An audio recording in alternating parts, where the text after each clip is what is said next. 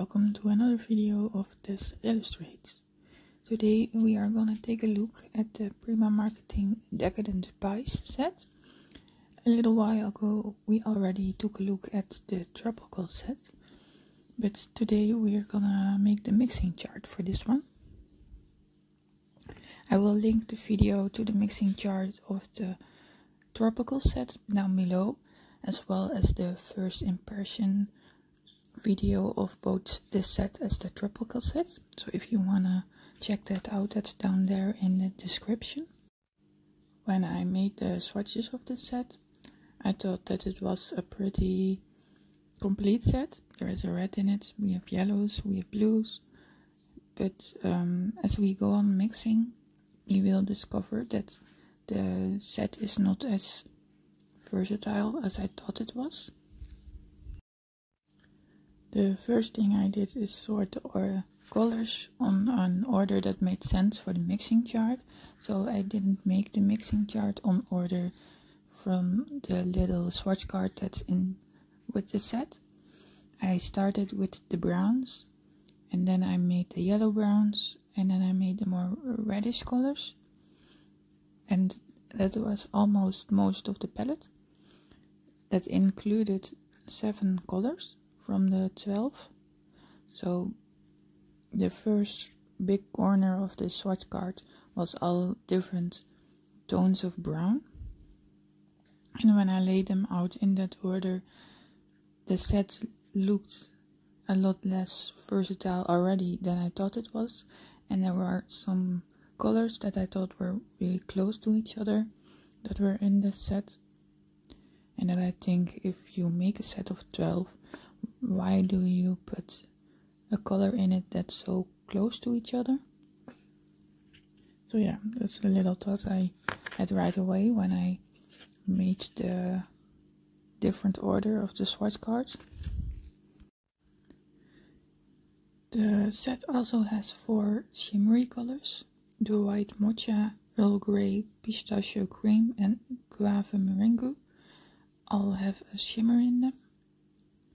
The most noticeable one is the Guava Meringue. I personally don't really like that color so far. It's a bit of a dirty color. But uh, I do really love the pistachio green cream. It's almost a bit like a gold, but warmer. And uh, the Earl Grey and the white mocha, you really have to look at the angle on the paper because you can hardly notice the shimmer otherwise. However, the white mocha did have some nice surprises in store later on on the mixing chart, but we will look at that later.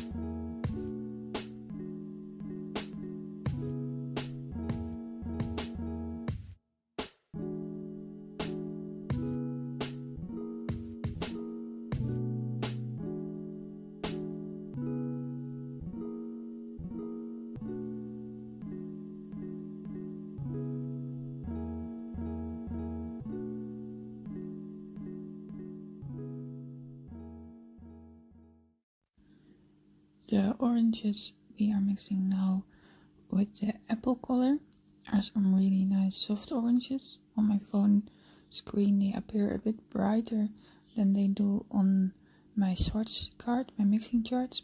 I'm not sure if that will be the same on the computer but they're really soft and the mixes we are making now with the peach cobbler are even softer.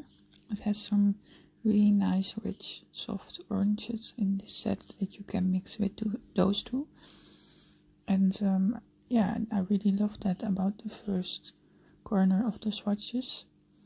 As you have seen the first five colors mix really similar colors with each other. So that was a bit it mixes nice earth tones but they're really close to each other. There's not much variation in it, and I thought that was a shame. They could have added a brown in it that was further away from the rest to make the mixes more versatile. Especially because the pistachio cream and the banana cream are really close to each other in color. The only difference is that the pistachio cream has a shimmer in it but I think you could have come really close if you just had the banana cream and you would mix that with the Earl Grey or the white matcha. I think the color that you would have gotten would be really similar to the pistachio cream, even though I do love that color in this set. If you are interested in the high resolution scans of these mixing charts and also from the swatch cards from both this set as the tropical set. They are available over on my Patreon as a high resolution download from the $5 tier and up. This is where we start with the blues on the chart. And this is also where for me the chart got a bit interesting. Because with the peach cobbler and the apple, are both a bit red toned.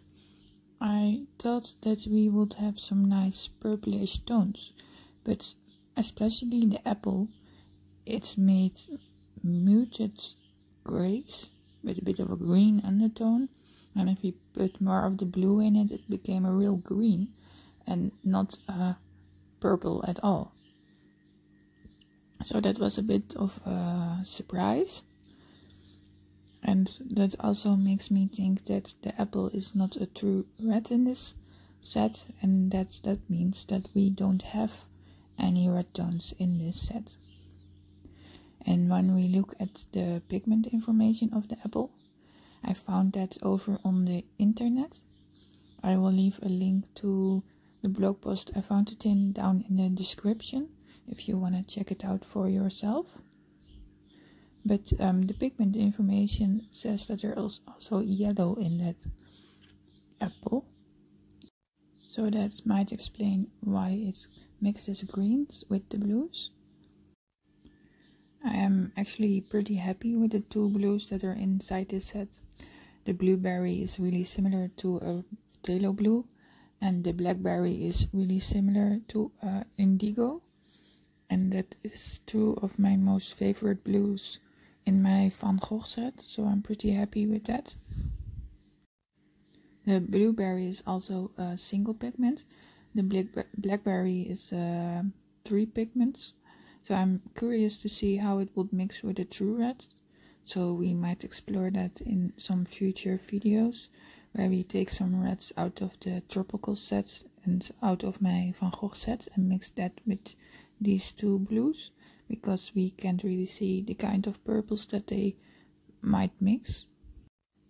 The blackberry color did mix some more muted and neutral tones with the other colors, even with the colors that made no neutrals with the blueberry. So that's mostly because the blackberry is three pigments and um, a lot of the earth tones in the set also have three pigments. Some have two, but none have one. So that makes a lot of pigments that you are mixing with each other. And that's why you get neutral colors sooner when you mix them.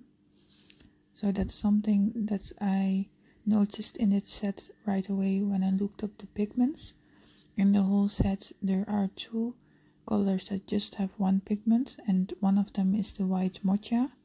So from the real colors that are not white or gray or black, we just have one color that is a single pigment. So that means everything you mix with this set mixes a lot of pigments. Most of the mixes are a mix of six pigments if you mix two colors with each other and that makes this palette a really muted palette. There are no really bright colors in this whole set. The blueberry on itself is really bright, but it doesn't mix any bright colors with any other one.